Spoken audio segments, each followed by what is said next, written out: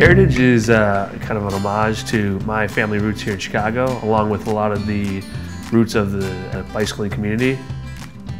My name is Michael Salvatore. I'm the owner of Heritage Bicycles General Store.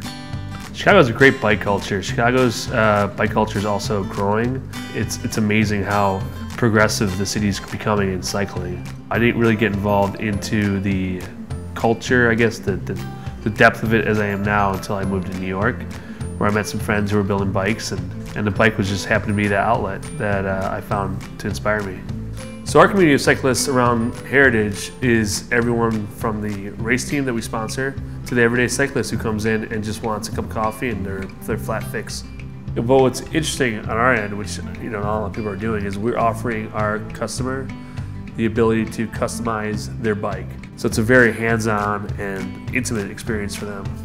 The Tandem specifically it was made actually locally in Chicago with Humble Frameworks, which is uh, Mike Catano's company. And so kind of cross pollination of like our vintage inspiration and his performance bikes.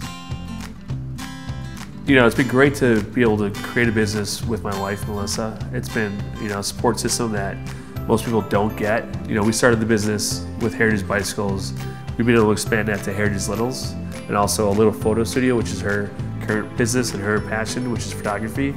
The kids can come, it can be their own space, and we can have bike accessories and, bikes for kids. And then she can also have her studio. So it's been really fun to see. I mean, it's, it's just so out there that it works.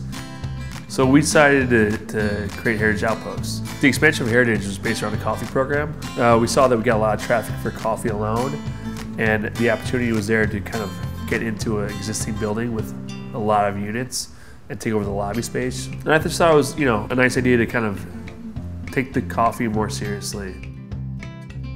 Well, Zipcar has been great. I mean, from, you know, events to uh, loading bikes to, you know, being able just to get to outposts when we need a car.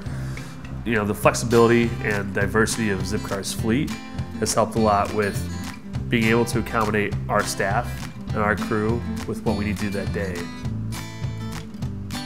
So yeah, today we're really excited to have uh, kind of like a soft opening. We're inviting all of our new staff. We just got done with setting up the equipment. We got the sign painters going. We are hanging the tandem. Tonight's all about kind of the new staff and getting them together and doing something fun for them.